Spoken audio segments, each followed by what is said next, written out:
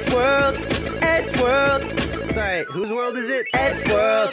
With Tom, both angry and rude. Maybe it's his smarts, maybe it's the dude. One thing's for certain, he doesn't make sense. Half the time it's gibberish, the other half's some goobly blintz. What? And Matt, Purple hoodie, also green overcoat. no one likes him as much as himself. He's got a formidable chin, though he doesn't know that word, cause he's got the intelligence of the kitchen shelf. Hey! Tord! He's not what he seems. He is a Norwegian, call me. Hentai addict, gun fanatic. His only friends are Paul and Patrick.